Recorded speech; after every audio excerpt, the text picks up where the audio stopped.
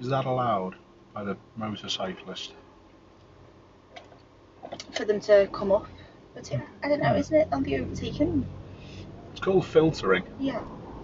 and it's totally fine to do Yeah. in stationary traffic, Okay. okay?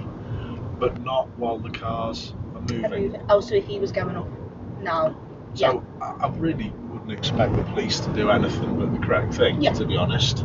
I think they get slaughtered if they did the oh wrong God, thing. yeah. Um, how are you going to deal with this uh, cyclist?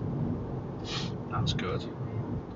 But always be careful of motorcycles just coming through the traffic, even when you are moving. Yeah. Moving, because honestly, they do. I'm a motorcyclist as well, although I haven't had a bike for a number of years Yeah. now. But there's no point having a motorbike and being freezing cold and wet and not getting through the traffic.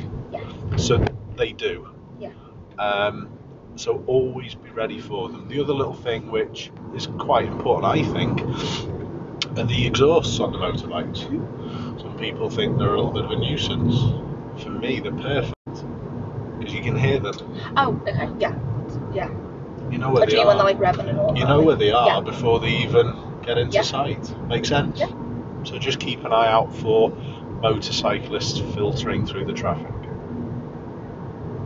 Yes, there's enough about the sound before. Because when cycle, cyclists do it, don't they? But you can't hear them. That's why um, You're right. you'd open your door and you know one gets Ah, slapped. That's or it, yeah. But the, whatever. the motorbikes are a little bit easier because you can hear them. Perfect. So that's why you should, before you move away in queuing traffic, is just have a little nosy around. Yeah. I call it Bob and Tom's. Boys on bikes, and it depends on how much of a swear word you would like to use. Twits. motorbikes. Yeah. Yeah, Bob and Tom's.